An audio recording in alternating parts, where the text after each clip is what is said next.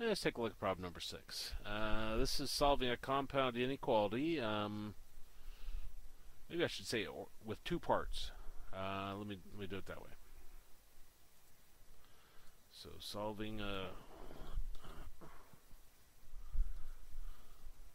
there we go. Solving a compound inequality with two parts.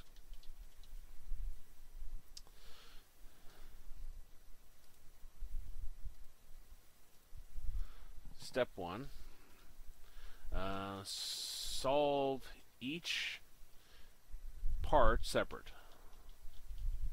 This is like version one of putting this into these into steps.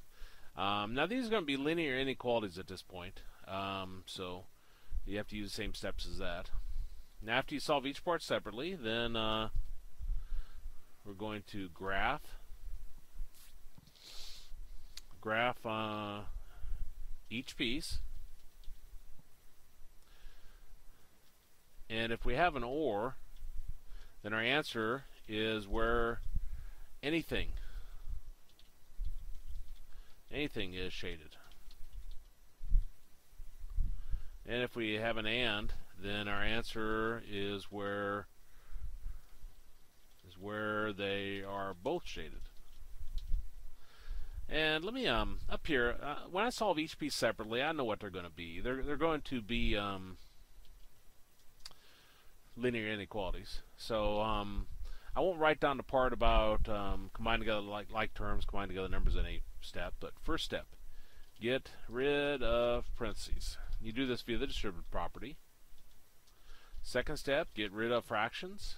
Multiply everything by the LCM of all your denominators. Third step, get everything with an x on the left side, numbers on right side. And uh, last step, uh, divide both sides by the number in front of x. Now I have a note here. If you multiply or divide both sides by a negative number, flip the inequality symbol. So let's go through and um, use this to solve this solve this problem.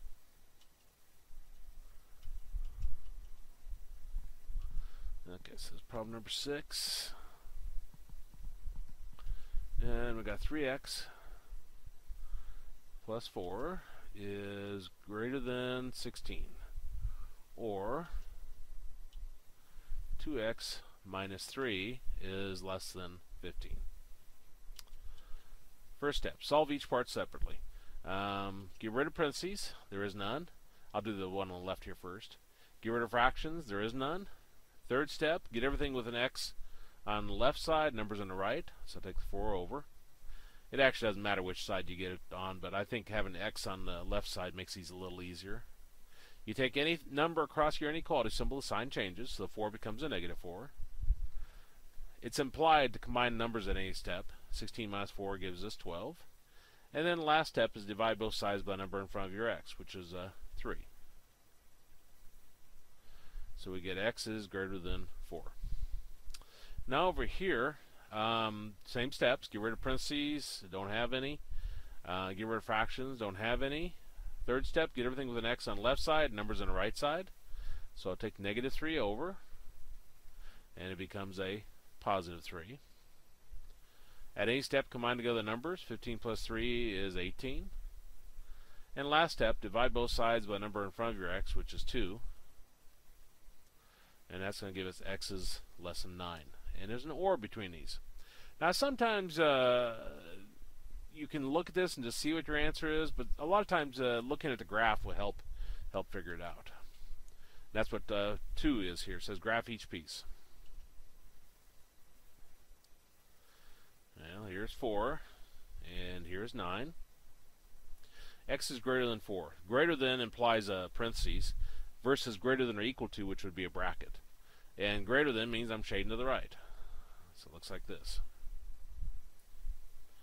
Now x is less than 9. Uh, again, parentheses because it's less than versus a less than or equal to. And less than means I'm shading this way. Okay, so our step says if your if your problem has an or in there, it says the answer is where anything is shaded. If there's an and, then the answer is where they're both shaded. This is an or, so it's where anything is shaded, which is all real numbers or negative infinity and positive infinity. Now I'm not sure how they write their answers here. Let's go look. Uh, all real numbers, how they write it. So this would be C. Let's check that. 6C. And that checks.